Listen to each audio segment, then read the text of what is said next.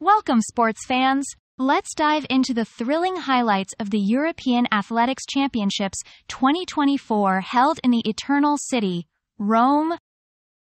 And the highlight of the event Great Britain's women's 4x100 meters relay team, featuring the Speed Demons Dina Asher Smith, Desiree Henry, Amy Hunt, and Daryll Neita.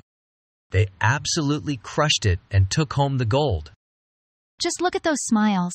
According to BBC Sport, the team put on a dominant performance that left the competition in the dust. A well deserved celebration for an incredible race. Meanwhile, Team Belgium also had an impressive haul with six medals, including three golds. According to Le Soir, they equaled their record from Berlin 2018. Well done, Belgium. That's all for now, folks. Stay tuned for more exciting sports updates. Who knows what other surprises the world of athletics has in store for us next?